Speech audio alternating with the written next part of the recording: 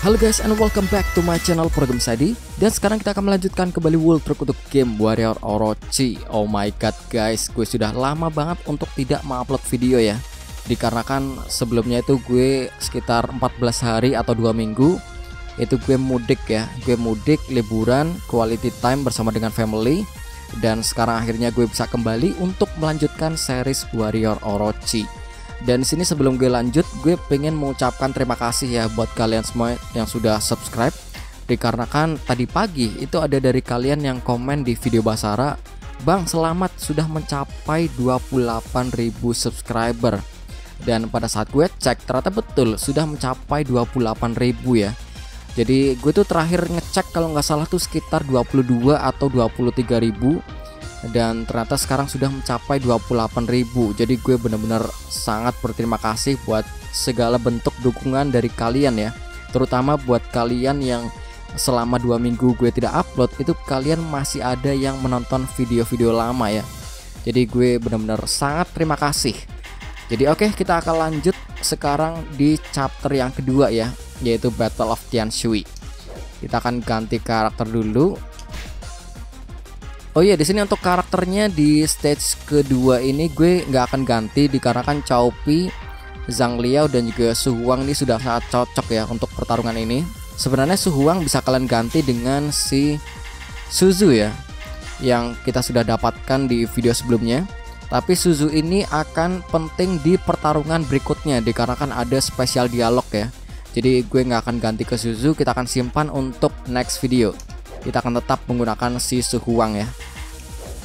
Alright guys, untuk weaponnya di sini Chaupi pakai Chaos, terus Zhang Liao menggunakan Gold Wyvern, and Suhuang pakai Marauder ya. Sudah mantap semua. So let's go, kita akan masuk ke dalam chapter kedua, Battle of Tian Shui. Let's go. The forces of Wei, led by Cao Pi, Iya, di sini pasukan Wei yang dipimpin oleh si Cao Pi itu melanjutkan uh, perintah dari si Daji ya, yang di mana sebelumnya kan gue sudah jelasin bahwa si Cao Pi ini sekarang menjadi bawahannya si Orochi di bawah tangannya si Daji atau si Daji ini merupakan seorang ahli strategi dari kelompoknya si Orochi ya. Dan di sini tujuannya si Daji adalah untuk mengalahkan para pasukan resistance atau lebih tepatnya pasukan anti Orochi.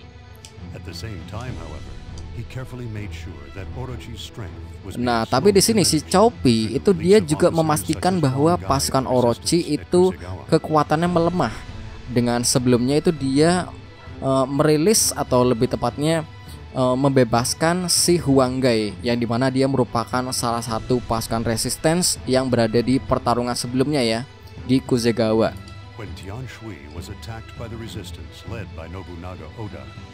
Nah sekarang itu wilayah Tian Shui itu diserang oleh pasukan resistance langsung pemimpinnya ya pemimpin dari pasukan resistance yaitu si Nobunaga Oda dan di sini si Cao Pi itu dikirim untuk mengalahkan para pasukan pemberontak ini. Nah si Chaupi dia bingung kenapa kok Nobunaga menyerang wilayah Tianshui ini? Dikarenakan di sini nggak ada apa ya nggak ada bentuk uh, keuntungan apa pun menyerang wilayah ini. Jadi kita akan coba lihat apa sebenarnya motif dari si Nobunaga Oda atau pemimpin dari pasukan resistance ya. Iya nih, bahkan Daji dia bingung ya. Kenapa Nobunaga menyerang sekarang? Apa kamu tahu? Do you have any idea? Iya, Choupi bilang aku aku nggak tahu apa-apa. Kenapa Nobunaga ke sini? Iya, kita sama sekali nggak punya sandera di wilayah ini. Pasti dia datang ke sini untuk berbicara dengan seseorang. Oke. Okay. Iya, aku nggak tahu. Apa nih? Apa sebenarnya tujuannya Nobunaga datang ke wilayah Tianshui ini ya? Kita akan coba cari tahu. Untuk kondisinya kita harus mengalahkan si Nobunaga Oda, tapi di sini Nobunaga masih belum datang ya. Jadi hanya ada para bawahannya doang. Terus untuk officernya di sini kita bersama dengan Chao Hong, Chao Zhang, ada Jasusu Gotani, ada Yue Jin. Oh my god, Yue Jin ini dia merupakan salah satu karakter favorit gue di game Dinasti Warrior 8 ya. Untuk resistance ada Mitsuda Akechi, Dan kalau nggak salah nanti ada reinforcement yang juga akan datang ya. Oke lah, let's go kita akan masuk ke dalam Battle of Tian Sui. Ini akan menjadi pertarungan yang cukup singkat ya. Dikarenakan masih chapter 2 itu musuhnya sangat sedikit dan pertarungannya singkat gitu loh. Jadi benar-benar sangat mudah.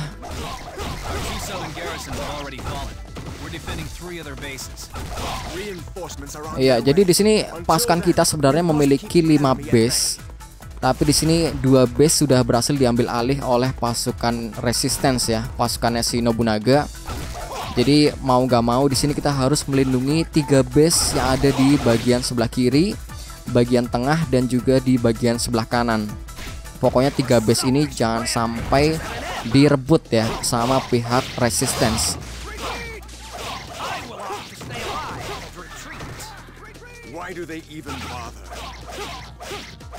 Oke. Yang penting kalahin officernya aja sih. Officernya aja untuk prajuritnya di sini nggak terlalu banyak sih. Lagian ada Mitsunari Ishida jadi kita nggak perlu khawatir. Oke di bagian tengah itu sudah bentar. Ada tulisan nggak? Iya ini ada tulisan keep the three remaining bases safe at all cost jadi di sini pokoknya kita harus melindungi tiga base ini ya. Bentar deh gue akan ke sebelah kanan dulu. Soalnya di sebelah kanan ini akan muncul si Huanggai Yang sebelumnya sudah kita bebaskan ya. Sudah kita tangkap terus kita bebaskan. Nah sekarang kita akan bertemu lagi nih sama si Huanggai Apa yang akan terjadi di sini? Hmm.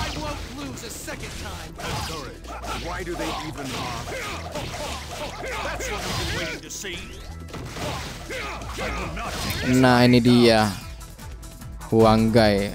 Kita akan coba lihat percakapan dulu ya.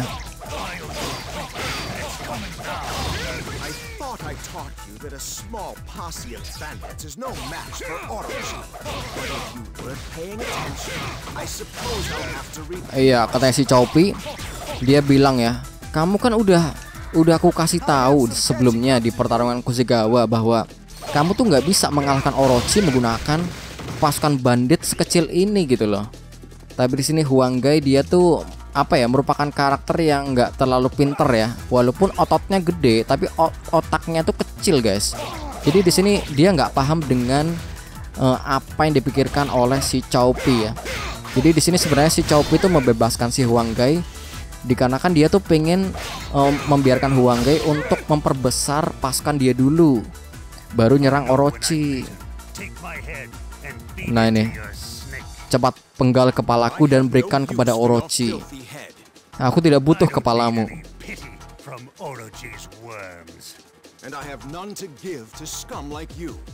Oke. Ya, kalau kamu tidak memikirkan masa depan, maka lebih baik aku akan bunuh kamu sekarang. Iya, si Huangga ini dia orangnya apa ya? Nggak peka gitu loh udah sebelumnya dibebasin udah dikasih tahu ya bahwa kamu itu nggak bisa mengalahkan Orochi menggunakan pasukan bandit yang kecil kayak gini. Kamu lebih baik itu memperbesar pasukan dulu, baru nyerang Orochi biar Orochi ini ya agak sedikit uh, tertekan ya. Dikasih lawan yang cukup banyak jumlahnya. Tapi di sini Huangga ini dia terlalu terburu-buru dan nggak mikir gitu loh, nggak peka ya dia ya.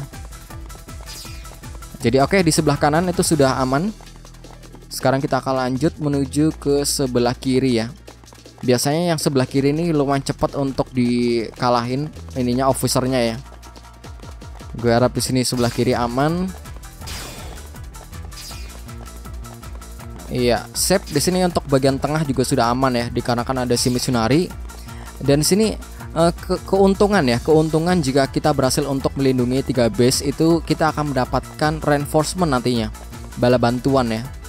Bala bantuan nantinya akan datang. Oke let's go. Ya tuh Zhang darahnya udah udah 50% hmm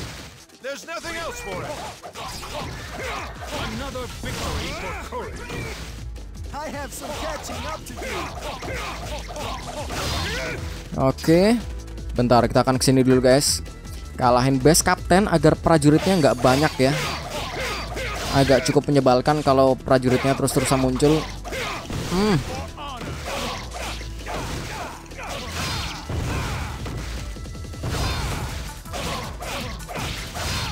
Oke, okay, so far so good. Sekarang kita akan masuk base ini, kita akan ambil atau kita akan rebut ya base-nya ya.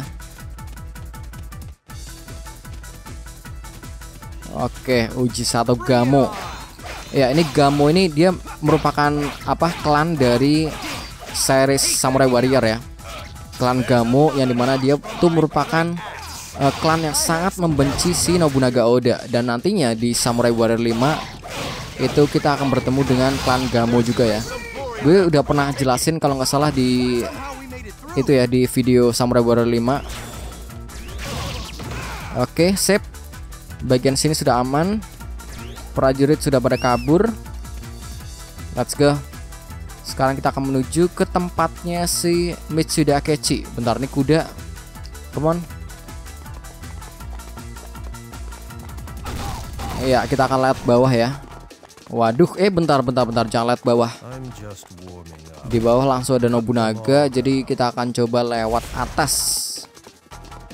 Ya, Mitsude dia advance akan menuju ke bagian atas ya. Kita harus menghentikan si Mitsude terlebih dahulu. Oke. Okay. Jadi di sini kita tuh nggak tahu gitu loh, si Nobunaga tuh mau ngapain di tempat ini. Padahal di tempat ini sama sekali tidak ada Sandra, terus nggak ada keuntungan apa pun gitu loh untuk menyerang wilayah Tian Sui. Nah, tapi kan tadi di awal si Daji bilang ya, apakah si Nobunaga ini ingin berbicara dengan seseorang atau pengen bertemu dengan seseorang di tempat ini? Let's see, kita akan coba lihat.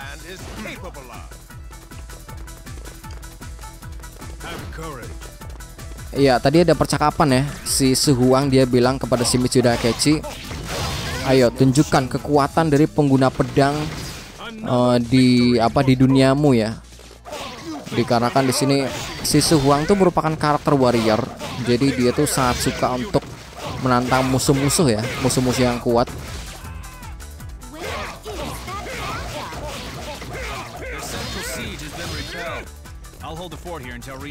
I'll. Oke. Ya, reinforcement kita masih belum datang, guys. Sebentar lagi nih. Nah, sep. Nah, bala bantuannya ternyata adalah si Zugeliang. Zugeliang datang ya, dikarenakan dia merupakan salah satu bawahan Orochi juga. Iya, akhirnya dia datang.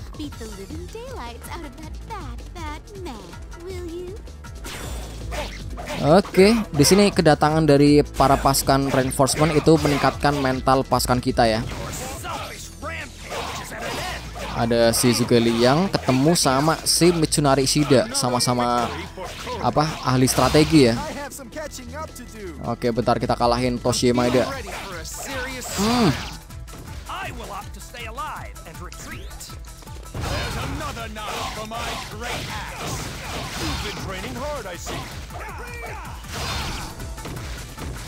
Oke, bentar gue mungkin akan wait. Officernya tinggal berapa sih? Tinggal Nobunaga sama Guan Ping. Nah ini, ini hubungan Nobunaga sama Guan Ping itu nantinya akan dijelaskan secara detail di cerita yang samurai ya. Kenapa kok si Guan Ping itu mau untuk mengikuti si Nobunaga Oda? Itu nanti akan dijelaskan guys.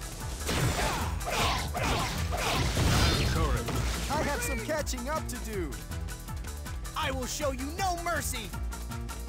Prove your worth to the Demon King. You will lament you ever encountered a warrior of such worth. Iya, tuh kan si Suhuang tuh dia seneng banget gitu loh. Dia seneng bertemu sama sang Demon King ya. Oke, Guan Ping sudah kalah. Bentar, kalau nggak salah ada percakapan kalau kita bertemu sama si siapa namanya? Si Mitsunari ya. Oh ini nih. Ya ada percakapan antara si Mitsunari sama si Zugeliang yang di mana mereka tuh sama-sama seorang ahli strategi ya. Bentar, bentar. Kalau nggak salah bukan Mitsunari, sorry. Kalau kita pakai Chopi, kita datangin si Zugeliang, kita akan dapat percakapan guys nih. Mana Zugeliang? Nah ini, nah ini ada percakapan kayak gini. As it is to see the mighty strategist of Shu here. Hmm. I look forward to witnessing your performances. Iya, di sini si Zugeliang dia tidak percaya ya bahwa ternyata selama ini uh, si Chaupi anaknya Sao Sao itu menjadi bawahan Orochi. Dan di sini si Chaupi juga tidak percaya bahwa seorang Zugeliang, seorang ahli strategi yang sangat hebat dari Shu itu juga menjadi uh, bawahan dari si Orochi. Jadi di sini kan mereka uh, walaupun sama-sama bawahan Orochi tapi nggak pernah ketemu ya. Mereka berada di dua tempat yang berbeda. Jadi mereka baru ketemu dan baru tahu sekarang gitu loh bahwa mereka itu adalah uh, sama-sama bawahan Orochi. Jadi itu merupakan pertemuan yang ya cukup mengejutkan ya bagi si Chaupi dan juga bagi si Zugaliang. Anjir ditahan terus coy. Hmm, sekali lagi. Wah anjir. Anjir Demon King. Oke, sip. Gue kira bakalan nahan terus dia. Waduh. Nobunaga barusan bilang ya kepada si Chaupi, aku sudah tahu siapa kamu sebenarnya Chaupi. Jadi ternyata kedatangannya si Nobunaga ke sini adalah untuk melihat sebenarnya si Chaupi ini dia motifnya tuh apa gitu loh. Nah, ini nanti akan terbuka semua tujuannya si Chaupi ya. Apakah dia benar-benar mendukung Orochi atau memang dia ingin menjatuhkan Orochi?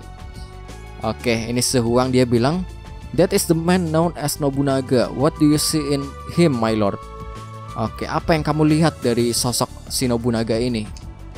He is not concerned with the battle at hand. Iya, yeah, he's fighting in a different dimension. Dia tuh seperti bertarung di dimensi yang berbeda. Iya, yeah, dan visi dia dikombinasikan dengan arogansnya. He's a man to watch. Jadi dia merupakan orang yang harus kita waspadai ya. Dia merupakan orang yang hebat. Iya, aku melihat uh, ada sesuatu yang mirip antara si Nobunaga dengan ayahmu yaitu si Lord Sao Sao. Sepertinya dia apa ya memiliki kehebatan yang sama ya. He share some of his greatness.